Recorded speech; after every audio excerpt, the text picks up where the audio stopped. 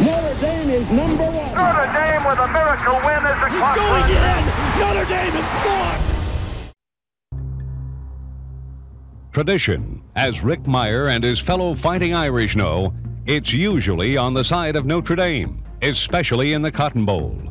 But despite the legendary feats of legendary players, there were still lingering memories of the 1988 defeat in Dallas. We came down here in 87 with a group of guys that were totally committed to winning the game. It's a one-game season. You don't have a mulligan. You don't get to play it the next week. This is something you're going to live with all year. I read and I hear all this stuff about Notre Dame maybe doesn't belong in this level. That's nonsense.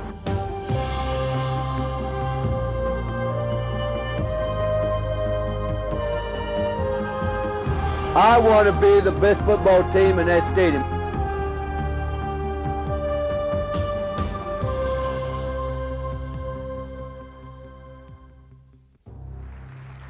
Bowl weeks traditionally are a mixture of football, fun, and fanfare.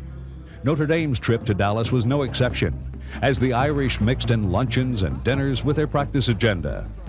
At the kickoff luncheon two days before the game, Lou Holtz didn't miss an opportunity to let players and fans from both sides know that his team was on something of a mission. I read all the articles and heard all the comments. People can change their mind and say whatever they want to say, but I understand that we were not wanted here by a lot of people. I, that's all. We're glad to be here, we're going to play awfully, awfully well. I don't know if we're good enough, but you mark it down. We are going to play well.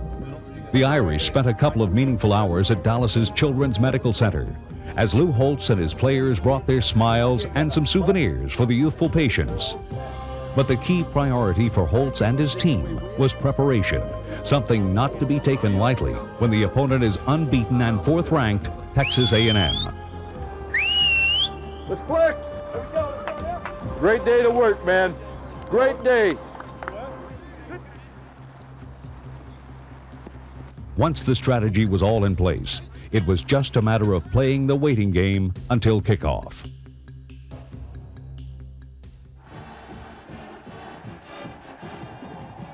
After a warmer than expected week of weather in Dallas, game day dawned icy and cold, with temperatures near 30 degrees.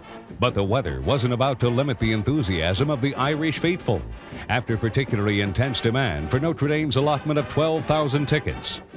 The Irish themselves, who have made a history of confronting unbeaten and top ranked teams in bowl games, had yet another opportunity against the 12 0 Aggies. In its first possession, Notre Dame tried to set the tone as Mirer found tight end Irv Smith on only the third play of the game.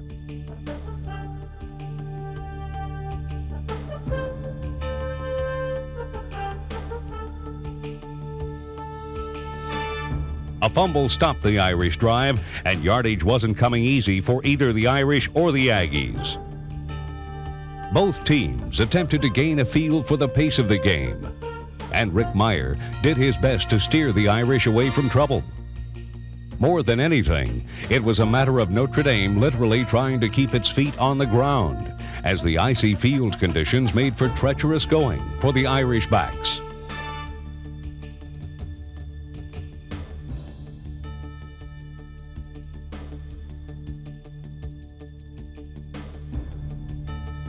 Fullback Jerome Bettis barely misfired on Notre Dame's only bit of razzle dazzle for the afternoon, as his option pass to Lake Dawson nearly found its mark. The field conditions forced Bettis and tailback Reggie Brooks to change shoes. This change would later pay off for the Irish. But while the offense struggled, it was Notre Dame's maturing defense that set the tone with classic bell ringing stops.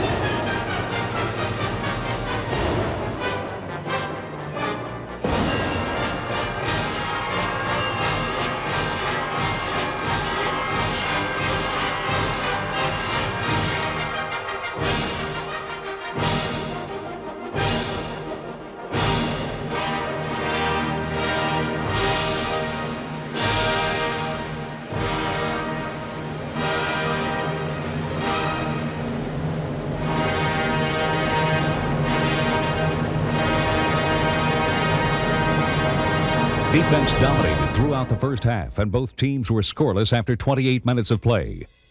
But Notre Dame polished off its two minute offense after taking over at its own 36 yard line. On first down, Rick Mirer took advantage of great protection and finally zeroed in on Reggie Brooks for five yards. Second down, found Lake Dawson the recipient of Mirer's quick out.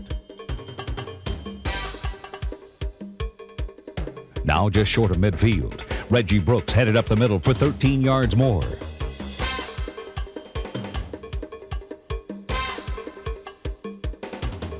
After an Irish timeout and a couple of incompletions, Notre Dame hit on the perfect call against Texas A&M's blitzing defense.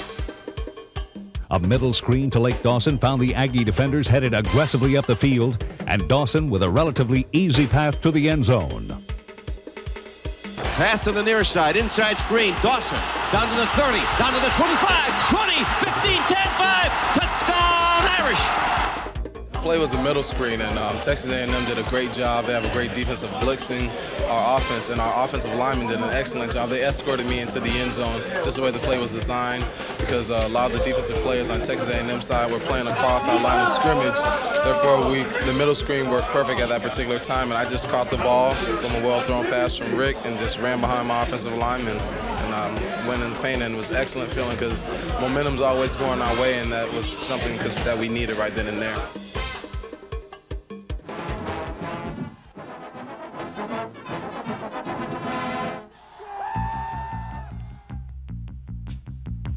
Dawson's TD, with 36 seconds in the half, proved the Aggie defense could be scored on. But for Lou Holtz, no lead is a comfortable lead, especially with an entire half to play.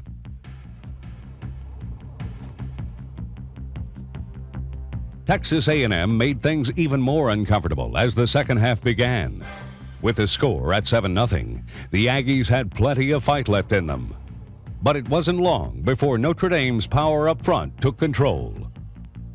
Thanks to the second effort running of Jerome Bettis and Reggie Brooks, the Irish embarked on what would turn into a 10 play drive.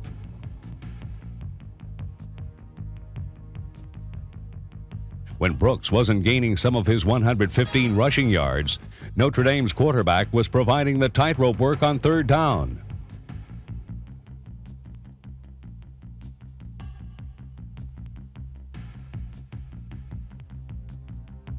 Mirer came ever so close to dropping a 55 yard bomb into the hands of Texan Michael Miller, with only a last second strip by Patrick Bates preventing another Irish touchdown pass.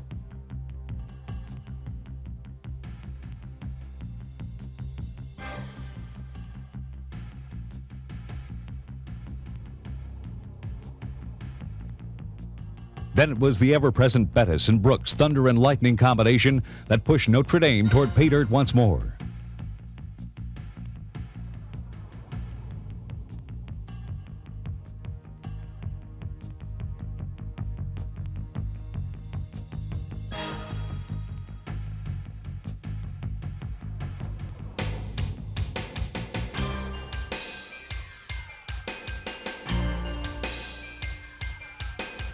When A&M ganged up on that pair inside, Mirer tested the ends with the option.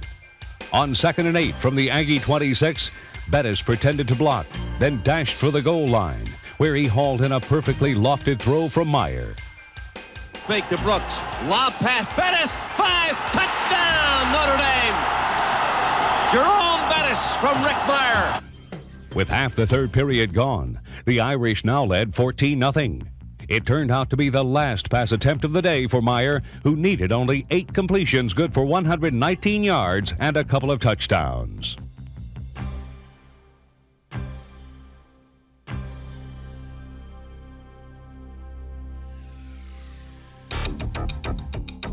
Notre Dame's running game had established a season long reputation for dominance on its way to an average of 281 ground yards per game. But even the most optimistic of Irish fans might not have expected Notre Dame to put up 290 rushing yards against the Texas A&M defense. The Irish rolled over, around, and through the Aggie defense that had earned the nickname the Wrecking Crew.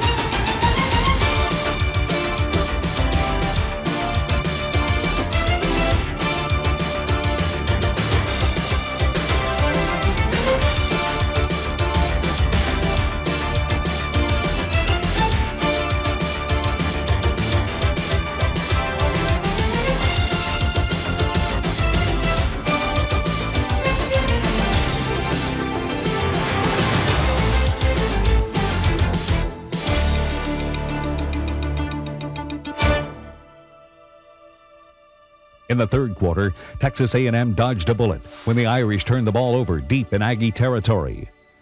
The Aggies had hopes of cutting into the two-touchdown deficit, but an ill-fated decision by rookie quarterback Corey Pullig to scramble only dashed the hopes of the A&M faithful.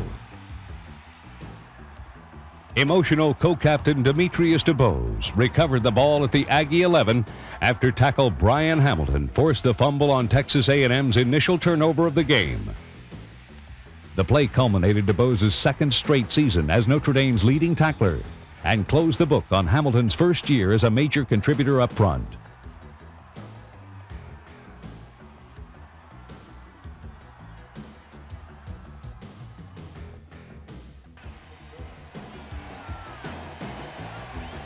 Rick Mirer had designs on padding the Irish margin himself on the first play as he kept around left end and finished barely short of the goal line. As Notre Dame's defense lent some sideline support, the play displayed the challenge confronting the A&M defenders as they struggled to contain Bettis and Brooks and the offensive line and still deal with the Irish option capabilities. On first and goal from the one and a full house alignment, Bettis earned the call and ran behind Justin Hall and Irv Smith to add to the Notre Dame lead. First down and goal to go from the one-foot line. Becton is in the game now at right halfback for Notre Dame. Handoff to Jerome Bettis, touchdown! Patrick Bates' collision came a second too late to prevent the Irish from assuming a 21-0 advantage.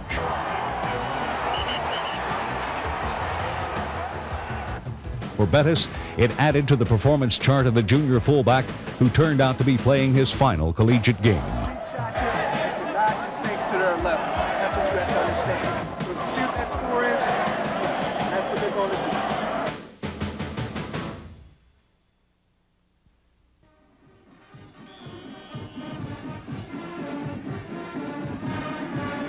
There weren't many smiles on the A&M sideline, but Notre Dame was well aware of the Aggies' comeback tendencies. On the first play of the fourth period, Corey Pullig hit Tony Harrison for 37 yards, the longest gain of the day for the Aggies. It was one of the few positives for an A&M offense that was held below 100 yards both rushing and passing.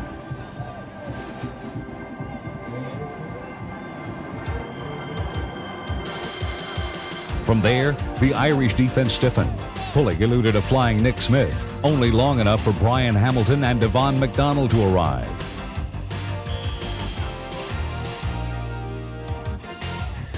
It continued to be a long afternoon for R.C. Slocum and a frustrating first bowl game for his youthful signal caller. Tony Venetoulia's field goal from 41 yards got A&M on the board, but all that did was put the ball back in the hands of the Irish. And this time, they wouldn't let it go for nearly nine and a half minutes.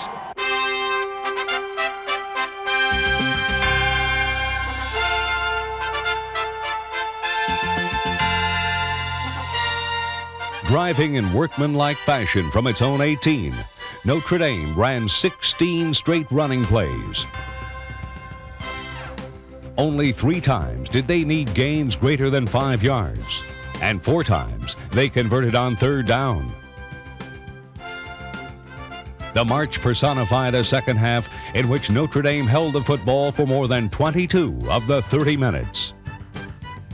Bettis carried seven times, Mirer four times, Brooks three, and safety turned tailback Jeff Burris twice.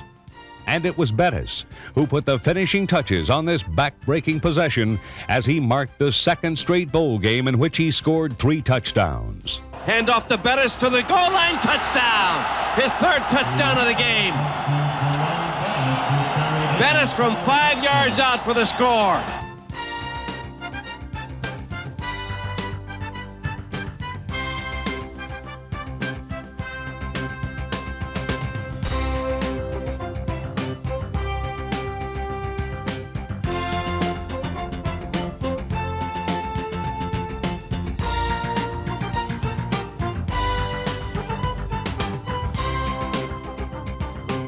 The six for six philosophy of the burly back from Detroit gave the Irish reason to consider a celebration with only five minutes left in the contest.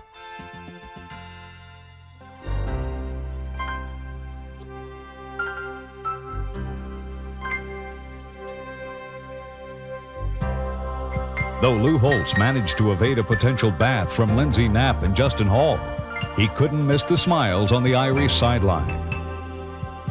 It was especially sweet for fifth year veterans like Knapp, Hall, and Devon McDonald, who were part of their fourth January 1st victory in five seasons.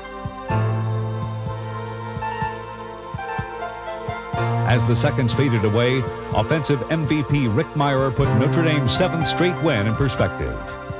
You know, they're a great defense, they're a great team, but but I don't think they played any Notre Dames until today.